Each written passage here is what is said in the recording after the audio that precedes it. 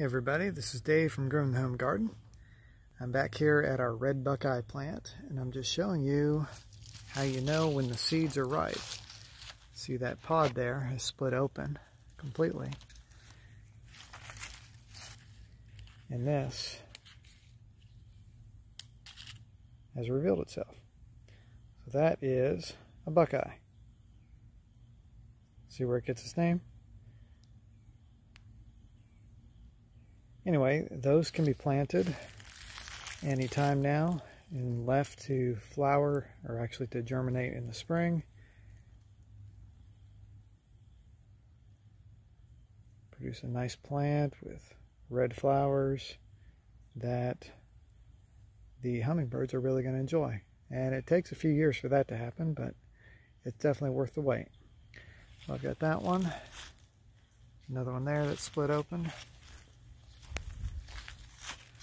A couple more up there. And one here. I made you go ahead and just pull all of these off because they're probably about to open up. Everybody, I decided to go ahead and sow these seeds mostly because if you don't sow them immediately, their germination rate dives pretty pretty quickly. So you really need to get them sown within a week of, of harvesting them or you'll have to moist stratify them over the winter, I believe. I haven't actually done that part of it. So I'm going to go ahead and plant these up in the six inch pot or these six pots here. And um, I'll bury each one of them about two inches deep in the pot. What I really like about these seeds are pretty cool. It's just looking at the little patterns on the exterior part of the seed. It reminds me of wood. It's just really cool looking. Kind of looks like an avocado seed to an extent too. So let me get to it. I'm going to fill these pots with soil and we'll get these planted. So here you can see I put each of them into a pot of their own so they have room to grow. And I'm just going to come back and cover them up good to the top of each pot. I'll make a little mess there, but you know, what you do in your garden. So, pretty simple. Just make sure they're all covered up really good.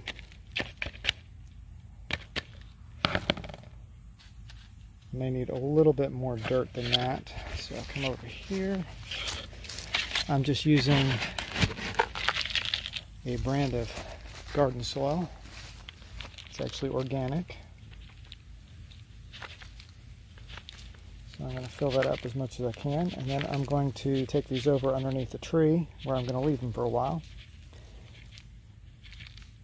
Red buckeye likes to be an understory tree, so it can be planted out in some shady areas, mostly shady spots. What I'll do with these once I get a good plant growing is I'll take them out to our land and plant them out in that direction. I've got one here on our property and I really don't want to transplant it. So if I can get something to grow out of one of these, that would be excellent. So there we go. Next up. So I'm just going to give these a good dose of water. And I like to plant things like this or set them somewhere near other plants that can benefit from the runoff water, like these hostas. These are the hostas I transplanted a while back because of that Shasta viburnum that I moved, or cut down rather. And then over here I've got a few other things. You'll notice a little baby Shasta viburnum that came from a cutting. Got some hops plants that took a little bit of a shock when I moved them over here. A honeysuckle and a little hydrangea. There's even a little Japanese maple right there. That was a seedling that I found on the other side of the house. So anyway, I'll take these red buckeye seeds, just keep them moist for a while, let them send out a nice taproot and grow, and then hopefully by spring of this coming year, I'll get to plant them out somewhere on our other property and uh, they'll be bloom size by the time we get something built out there.